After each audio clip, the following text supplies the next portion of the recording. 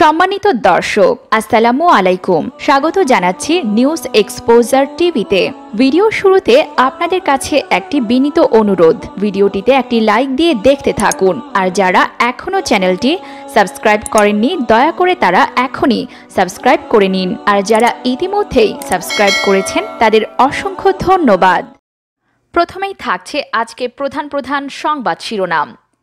কুকুরের কবল থেকে হরিণটিকে বাঁচালো গ্রামবাসী।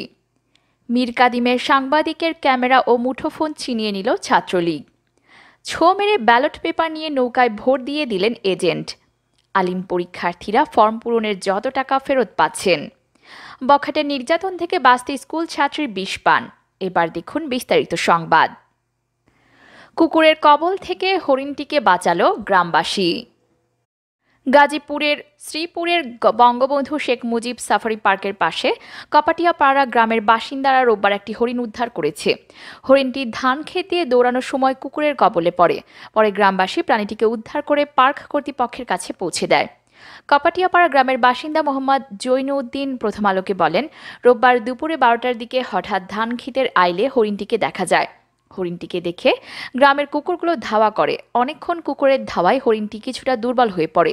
বিষয়টি দেখতে পেয়ে স্থানীয় লোকজন এটিকে ধরার চেষ্টা করেন। একসময় কুকুরগুলোকে তাড়িয়ে হরিণটিকে উদ্ধার করা হয়। হাঁপিয়ে উঠেছিল হরিণটি। লোকজন বড় টেবিল ফ্যান দিয়ে হরিণটিকে বাতাস দেয়। পরে বঙ্গবন্ধু শেখ মুজিব সাফারি পার্ক কর্তৃপক্ষকে মুঠোফোনে বিষয়টি জানানো হয়। বেলা একটার দিকে পার্কের ভারপ্রাপ্ত কর্মকর্তা তবিবুর রহমান কপাটিয়া পাড়া গ্রামে এলে তাদের কাছে হরিণটিকে হস্তান্তর করা হয়।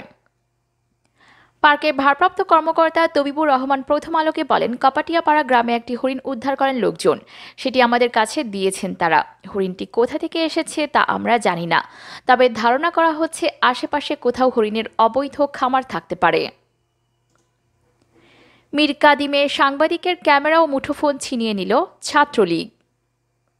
মুন্সীগঞ্জের মীর কাদিম পৌরসভা নির্বাচনে পেশাগত দায়িত্ব পালনের সময় স্থানীয় এক সাংবাদিকের ক্যামেরা ও মুঠোফোন ছিনিয়ে নিয়েছে ছাত্রলীগ। রোববার দুপুর বারোটার দিকে পৌরসভার এনায়েতনগর উচ্চ বিদ্যালয় ভোট কেন্দ্রে এ ঘটনা ঘটে। ওই সংবাদকর্মীর নাম শিহাব আহমেদ।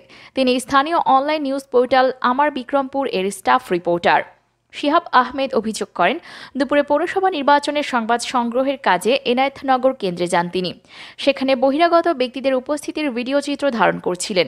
এ সময় কাউন্সিলর প্রার্থী মোকলেসুর রহমানের পক্ষে আলী আহমেদ রাসেল নামের একজন নেতৃত্বে জেলা ছাত্রলীগের সাংগঠনিক সম্পাদক চিস্তিয়া ব্যাপারী সহ দশ থেকে বারো জন মিলে তার উপর হামলা করে ক্যামেরা, মুঠোফোন ও পরিচয়পত্র ছিনিয়ে নেন। এ সময় উপস্থিত পুলিশের কাছে সহযোগিতা চাইলেও তারা নীরব ভূমিকা পালন করেন।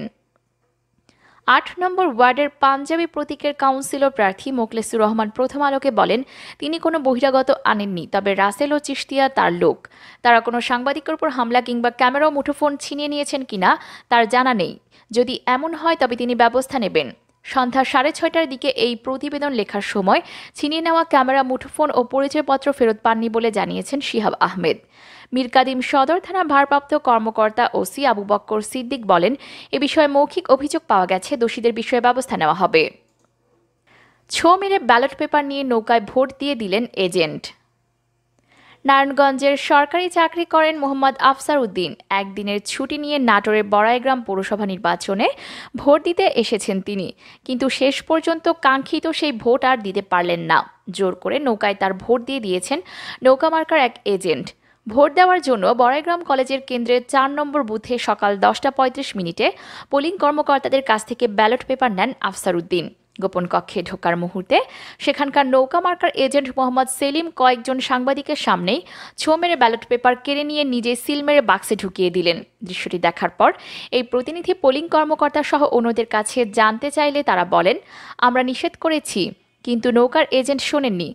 তাৎক্ষণিকভাবে মোহাম্মদ সেলিম নামের ওই এজেন্টের প্রতিক্রিয়া জানতে চাইলে তিনি বলেন, ভুল হয়ে গেছে। ব্যালট পেপার হাতে নেওয়ার পরেও ভোট দিতে না পারার বিষয়ে আফসার উদ্দিন কোনো কথা বলেন না। শুধু ফ্যালফ্যাল করে চেয়ে থাকলেন। চোখে তার জল ছলছল করছিল। সেলিমকে তাৎক্ষণিক জিজ্ঞাসাবাদে ঘটনার সত্যতা পেয়েছেন কেন্দ্রটির প্রিজাইডিং কর্মকর্তা আবু হানিফ মিয়া। কিন্তু তিনি সেলিমের বিষয়ে কোনো ব্যবস্থা নিলেন না, এমনকি সেখান থেকে সরিয়েও দিলেন না। আবু হানিফ মিয়া বলেন, প্রার্থীদের এজেন্টরা এসব কর্মকাণ্ড প্রতিরোধ করেন, কিন্তু তার কেন্দ্রে বিএনপির প্রার্থীর কোনো এজেন্ট ছিলেন না, তাই তার পক্ষে অপর প্রার্থীর এজেন্টকে দণ্ডিত করা যায়নি। দায়িত্বরত নির্বাহী ম্যাজিস্ট্রেট জিয়াউর রহমান বলেন, আমি প্রিজাইডিং অফিসারকে এ ব্যাপারে ধমক দিয়েছি, তিনি আর করবেন না। এদিকে বড়াইগ্রাম কলেজ কেন্দ্র সহ বড়াইগ্রামের নয়টি কেন্দ্রে সকাল আটটা থেকে বেলা দুইটা পর্যন্ত নৌকার এজেন্টরা ভোটারদের নানাভাবে হয়রানি করেছেন বলে অভিযোগ পাওয়া গেছে। এসব বিষয়ে কারও বিরুদ্ধে ব্যবস্থা নেওয়া হয়নি। এ বিষয়ে বড়াইগ্রাম সরকারি প্রাথমিক বিদ্যালয়ের প্রিজাইডিং কর্মকর্তা খায়রুল বাসার বলেন, আমি মৌখিকভাবে সতর্ক করেছি, তারা শোনেননি। বিএনপি প্রার্থী ভোট দেননি, কোনো কেন্দ্রেও যাননি। নিরাপত্তার অভাবে বড়াইগ্রাম সরকারি প্রাথমিক বিদ্যালয় কেন্দ্রে ভোট দিতে যাননি বলে জানান বিএনপির মনোনীত মেয়র প্রার্থী মোহাম্মদ ইসাক আলী। তিনি বলেন, ভোট গ্রহণের শুরুতে ওই কেন্দ্র থেকে তার এজেন্টকে বের করে দেওয়া নিয়ে হট্টগোল হয়। বাকি আটটি কেন্দ্রে খোঁজ নিয়ে জানা যায়, বিএনপি প্রার্থী যেসব কেন্দ্রে যাননি, তার কোনো প্রতিনিধিও ভোট পর্যবেক্ষণে ভূমিকা রাখেননি। আলিম পরীক্ষার্থীরা ফর্ম পূরণের যত টাকা ফেরত পাচ্ছেন। করোনা ভাইরাসের কারণে বাতিল হওয়া এইচএসসি সমমান পরীক্ষার ফর্ম পূরণ ফি বাবদ নেওয়া টাকার কিছু অংশ শিক্ষার্থীরা ফেরত পাচ্ছেন। শিক্ষা বোর্ড বোর্ডগুলোর টাকা শিক্ষা প্রতিষ্ঠানে ফেরত দেবে আর শিক্ষা প্রতিষ্ঠান শিক্ষার্থীদের এ টাকা দেবে। আলিম পরীক্ষার্থীদের ফর্ম পূরণের কত টাকা ফেরত দেওয়া হবে তার ব্যাখ্যা দিয়েছে মাদ্রাসা শিক্ষা বোর্ড। শিক্ষার্থীদের টাকা ফেরত দেওয়া সংক্রান্ত মাদ্রাসা শিক্ষা বোর্ডের নির্দেশনায় বলা হয়েছে পরীক্ষার্থী পরীক্ষার্থীদের উত্তরপত্র মূল্যায়ন বাবদ নেওয়া টাকা এবং ব্যবহারিক ও কেন্দ্র ফি বাবদ নেওয়া টাকার একটি অংশ আন্তঃশিক্ষা বোর্ড পরীক্ষা নিয়ন্ত্রক উপকমিটির সভায় ফেরত দেওয়ার সিদ্ধান্ত হয়েছে। যে পরীক্ষার্থীরা ফর্ম পূরণ করেছিলেন, তার প্রতি পত্রের জন্য বোর্ড নির্ধারিত ফি থেকে পত্রপ্রতি তিরিশ টাকা এবং ব্যবহারিক বিষয়ের ক্ষেত্রে পত্রপ্রতি আরও দশ টাকা ফেরত পাবেন। মাদ্রাসা শিক্ষা বোর্ড এই টাকা শিক্ষার্থীদের নিজ নিজ প্রতিষ্ঠানে পাঠাবে। পরীক্ষার্থীরা মাদ্রাসা থেকে টাকা গ্রহণ করবেন। এছাড়া প্রত্যেক পরীক্ষার্থী দুশো টাকা এবং আইসিটি বিষয়ক পরীক্ষার্থীরা অতিরিক্ত আরও পঁচিশ টাকা করে কেন্দ্র থেকে ফেরত পাবেন। আইসিটি ছাড়া অন্যান্য ব্যবহারিক বিষয়ের ক্ষেত্রে পত্রপ্রতি অতিরিক্ত পঁয়তাল্লিশ টাকা ফেরত দেওয়া হবে। পরীক্ষার্থী কেন্দ্র ফি বাবদ ব্যয় না হওয়া টাকা মাদ্রাসা থেকে গ্রহণ করবেন। মাদ্রাসা বোর্ড আরও জানিয়েছে, সংশ্লিষ্ট শিক্ষা প্রতিষ্ঠান ফর্ম পূরণ বাবদ আদায় করা টাকায় দশ শতাংশ এবং আইসিটি ব্যবহারিক বিষয়ের জন্য আদায় করা ফি থেকে প্রত্যেক পরীক্ষার্থী বিশ টাকা ফর্ম পূরণ ও আনুষঙ্গিক কাজের জন্য ব্যয় নির্বাহ করা করবেন। এইচএসসি ও সমান পরীক্ষায় প্রতিটি শিক্ষা প্রতিষ্ঠান পরীক্ষার্থী প্রতি সংশ্লিষ্ট কেন্দ্রকে একশো ষাট টাকা হারে দেবে। এ টাকায় পরীক্ষার গোপনীয় কাগজ পরিবহন ও বোর্ডে জমাদান সংরক্ষণ এবং প্রশাসনিক ব্যয় নির্বাহ হবে। বখাটে নির্যাতন থেকে বাঁচতে স্কুল ছাত্রীর বিষ পান। বখাটের উৎপাতে সুনামগঞ্জের তাহিরপুরে এক স্কুল ছাত্রী বিষ পানে আত্মহত্যার চেষ্টা করেছে। এ ঘটনার পর ওই স্কুল ছাত্রী Sylhet M A G Osmani medical college হাসপাতালে চিকিৎসাধীন রয়েছেন।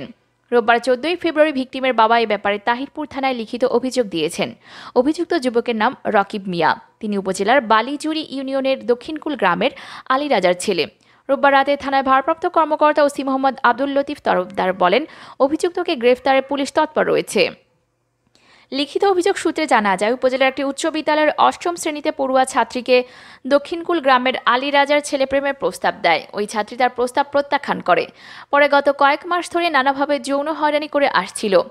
বিষয়টি নিয়ে গত চার মাস আগে গ্রাম্য সালিশ হলেও বখাটে পনার লাগাম টেনে ধরতে পারেননি রকিবের অভিভাবক ও পরিবারের লোকজন। পরবর্তীতে রকিব ওই স্কুল ছাত্রীর মায়ের মোবাইল ফোনে বিভিন্ন সময় আপত্তিকর খুদে বার্তা পাঠাতো, এমনকি গ্রামের লোকজনকেও তা জানিয়ে দিত। এভাবে দিনের পর দিন বখাটেপনা, যৌন হয়রানির মতো অপমান সইতে না পেরে গত বারোই ফেব্রুয়ারি রাতে ওই স্কুল ছাত্রী নিজ বাড়িতে বিষপানে আত্মহত্যার চেষ্টা করে। রোববার সন্ধ্যায় বিষয় জানতে যোগাযোগ করা হলে রকিবের বাবা আলী রাজা মোবাইল ফোনে বলেন, আপাতত আমার ছেলে বাড়িতে নেই। ছেলে যদি কোনো অপরাধ করে থাকে তাহলে তার বিচার হোক। আমাদের এখনকার সংবাদ এ পর্যন্তই। পরবর্তী সংবাদ দেখতে চাইলে আমাদের চ্যানেলটি যদি সাবস্ক্রাইব না করে থাকেন, তাহলে এখনই সাবস্ক্রাইব করে ফেলুন। সঙ্গে থাকার জন্য ধন্যবাদ সবাইকে। এরকম আরও অনেক ভিডিও পেতে নিউজ এক্সপোজার টিভির সাথেই থাকুন, চ্যানেলটি সাবস্ক্রাইব করুন এবং সাথে বেল আইকনটি বাজিয়ে দিন। আসসালামু আলাইকুম।